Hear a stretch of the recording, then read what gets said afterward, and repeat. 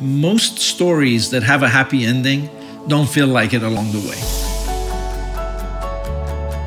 We borrowed for everything. Want a new couch? Go finance it. Want a new TV? Go finance it. Want a new car? Go finance it. My whole philosophy was credit cards. I'll just work another week. Swipe the card. Everything kind of started to crash. We started to see our marriage drop away. I personally owed $750,000 in debt. I was totally hopeless. You need to decide if you want to be wealthy or if you want to look wealthy. When somebody told me about FPU, I grabbed hold of it like a life preserver. It gave me hope that we could make our marriage work. Knowing where your money's going is a huge life changer. Nobody owns me anymore. Nobody. It just opened up communication big time.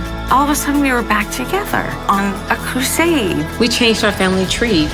I'm here to do my debt-free screen. Yeah, how much have you paid off? Four hundred and fifty-six thousand. Eighty-nine thousand. One hundred and twenty thousand Three hundred dollars. ninety-four thousand dollars. two, one.